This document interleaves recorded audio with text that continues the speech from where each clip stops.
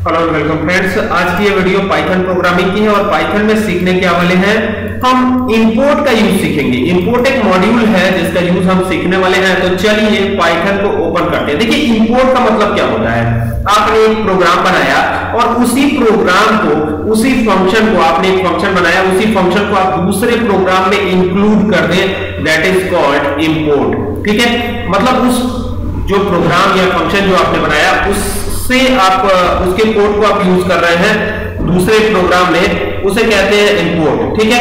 अब ये import use कैसे होगा? आइए समझ लेते हैं। यहाँ पर सबसे पहले एक फ़ंक्शन बना लेता हूँ। से फ़ंक्शन बनाते हैं, ये तो आपको पता ही है। तो ये लिखा ग्रीटिंग ग्रीटिंग लिख दिया।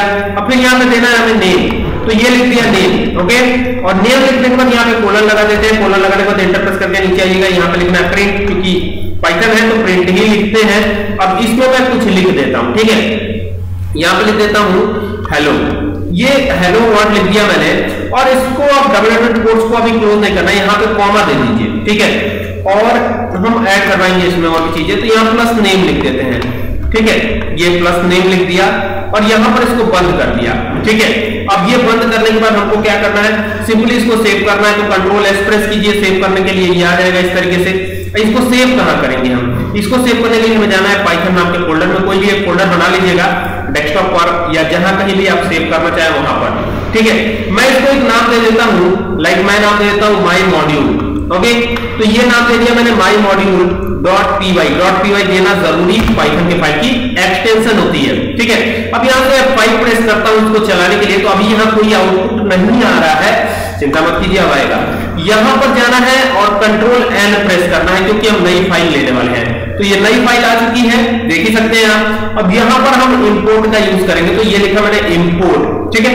सिंपली लिख दिया इंपोर्ट और यहाँ पर हमने दिया था इसको नाम माई मॉड्यूल तो ये माई मॉड्यूल के नाम से ही हम इसे करेंगे एक्सेस और यहाँ पर देंगे माई मॉड्यूल डॉट ग्रीटिंग और यहाँ पर क्या करता हूँ? अपना नाम दे देता हूँ, ठीक है? आप कुछ भी दे सकते हैं, जो आप लिखना चाहें वो दे सकते हैं, और इसे बंद कर दिया। अब यहाँ से कंट्रोल एस प्रेस करूँगा तो ये ओपन हो जाएगा कुछ इस तरीके से, और ओपन होने के बाद आपको करना क्या है? इसको भी उसी फोल्डर में सेव करना है। तो यहाँ पर मैं इसको एक नाम दे देता हूँ, कुछ भी यू डॉट पी कर देते हैं, कुछ भी दे सकते हैं डॉट पी ज़रूर लगाइएगा। तो ये हो गया। अब आप देख सकते हैं, इसमें हमने केवल सूरज लिखा है, और कुछ तो लिखा नहीं है। तो यहाँ पर चलते हैं, इसको रन करवाते हैं। तो जैसे ही रन करवाएँगे तो आप देखेंगे यहाँ हेलो सूरज आ रहा है, जबकि इस प्रोग्राम में हेलो का ज़िक्र हुआ ही नहीं है। हेलो तो हमने लिखा ही नहीं है। तो हेलो आया कहाँ से? तो ये हेलो इंपोर्ट होकर आया है यहाँ से। इस वाले प्रोग्राम से आया है, यहाँ पर देखिए हेलो लिखा हुआ है। और इसी वाले प्रोग्राम से हम इसको इंपोर्ट करवा के ला रहे हैं। तो ये हो गया हेलो आएगा समझ में?